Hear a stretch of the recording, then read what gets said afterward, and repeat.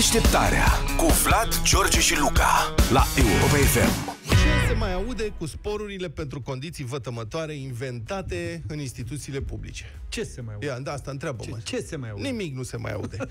Din acest punct de vedere, în noua guvernare e la fel ca în vechea guvernare. Statul discriminează între cetățeni, între noi, cetățenii acestei țări, prin acordarea de sporuri masive la salarii unora dintre angajații din România, deși dacă statul ar aplica cu adevărat legea, ar fi imediat evident că aceste sporuri sunt nejustificate.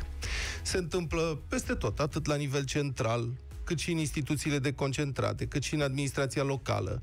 Dacă ar fi să ne luăm după ștatele de plată ale oamenilor ce lucrează la stat, în ministere, regii, autorități și primării, e cam ca la Cernobâl. Radiații, toxine, bacterii, șobolani, șerpi, pericole mari nevăzute care sar din vizuine și din spatele ușii și care te omoară încet, motiv pentru care trebuie să fie date compensații, proporțional cu salariu. Că altfel îl radiază computerul pe domnul director și altfel pe emploiatul de la aprovizionare. Corect. Fiecare cu radio. Domnul director e mai sensibil, mai sensibil, bani mai mulți. Da? Iar aceste instituții își apără cu înverșunare beneficiile abuzive. De pildă, la primăria capitalei, condusă de domnul Nicușor Dan acum, toți angajații, 1040 de persoane, primesc spor la salariu pentru, citez, condiții vătămătoare de muncă. Primăria le-a plătit angajaților săi, în lunile ianuarie și februarie, a aflat publicația Spot Media, sporuri pentru condiții vătămătoare de muncă în sumă totală de 2,2 milioane de lei.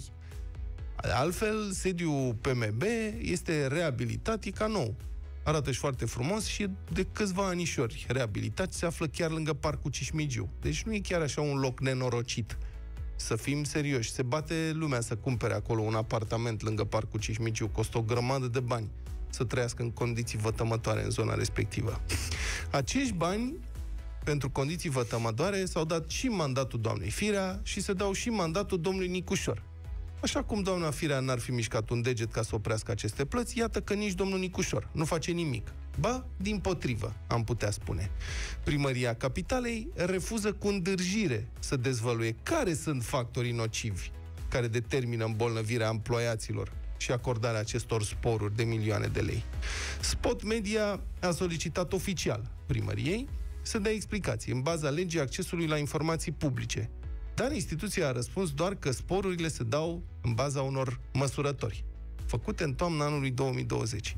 Dar cine a făcut măsurătorile? Au întrebat jurnaliștii. Măsurătorile au fost făcute de firma care a câștigat licitația pentru atribuirea contractului de măsurare. A răspuns la mișto primărie. Înțelegeți, mă, cât de tupeu și ce obraznici sunt? Cine a făcut, domnule? Vrem să știm și noi. Să, din bani publici se dau milioane de lei pe baza acestor măsurători. Am vrea să știm și noi cine e firma. Firma este cea care a măsurat. Cine a măsurat? Firma. Care a câștigat. Care a câștigat, da. Și cu asta basta. Și aș vrea să observăm că un singur primar din București, și din câte știm noi din toată țara, dacă ne înșelăm, vă rog să ne spuneți, deci un singur primar din București a făcut ceva concret în privința acestor sporuri. E vorba de doamna Clotilde Armo, de la sectorul 1. Mă, tu vrei să te muți în sector. După ce dânsa Așa. a cerut uh, o nouă măsurătoare pentru presupusele condiții vătămătoare din sediul ADP, adevărul a ieșit la iveală fulgerător și toată escrocheria a devenit vizibilă în toată urăciunea ei.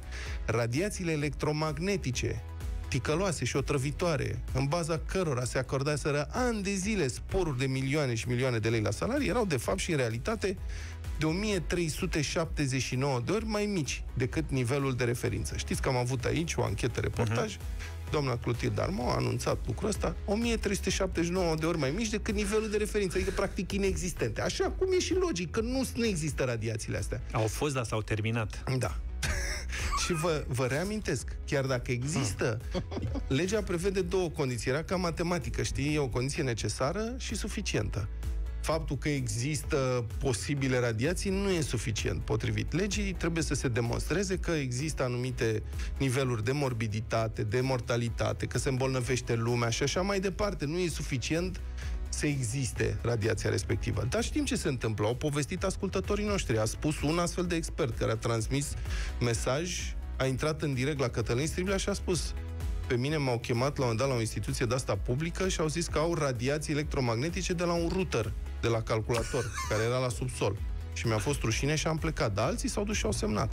Și pe baza unor asemenea escrocherii repetate în, în mii și mii de birouri și instituții din țara asta, se dau bani fără justificare. Nu există nicio altă explicație și nicio altă descriere a acestei uh, finanțări uh, decât că este o escrocherie, o fraudă pe bani publici care ține de ani și ani de zile. Bun, deci revenind, doamna Clotilde Armon a anulat acele sporuri în mod logic, dar exemplul doamnei Armon n-a fost urmat de nimeni din administrația locală și nici din cea centrală. Noi nu știm să fi fost vreun primar sau vreun ministru sau cineva care să spună, ia mă să facem și noi măsurători aici, să vedem sunt, e adevărat? Nu e ușor să faci măsurători. Da, nu trebuie.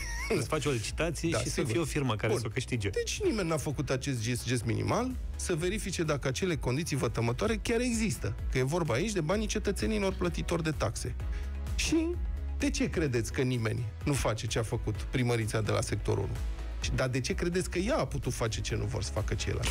Auzi, eu, zi tu, Zafir, de eu mai am o idee. Nu, lasă da. că asta o să le măsoare cineva la un moment dat și o să fie, o să se termină și le peste tot. nimeni niciodată. Eu mi-am pierdut speranța. Da, nu, eu cred că o să, eu aș propune un nou, uh, uh, un nou bonus de ăsta la primăria capitalei, un sport de frizerie, nu se sport poate? de frizerie, domne, auzi? Seriu, da. Am senzația că e o lipsă totală acolo. Deci e o problemă care trebuie rezolvată cumva. E, e, o problemă vizibilă. Da. Domnul Cușor Dan este ca berbecul ăla din Noua Zeelandă care a scăpat. Nu râde mă că așa e. Știți că periodic apare cât un berbec de ăsta în Noua Zeelandă care da. scapă în natură și nu mai e prins cu ani da. și după aceea când apare este de fapt o bilă uriașă de lână compactată. Băi, va fi Așa de nerecunoscut și... până la finalul mandatului. Deci, domnul Dan și-a dorit atât de mult, de mult da. să devină primar, încât cred că a, a scăpat în birou ăla care edita mai birou acolo și, nu mai și cred că stă încuiat în birou și nu lasă, nu se duce acasă să nu care cumva să piardă ceva, să, cum să spun, dacă, bă, dacă ies de aici, mi-au ăștia loc. și stă acolo frizer, nu am nicio, eu stau aici cu minte da. și să compactează vătămătoare de altfel. Da. Dacă doarme, crezi că mai are nevoie de pernă? nu cred că mai are nevoie de pernă, cred că... Deșteptarea cu Vlad, George și Luca la Europa FM.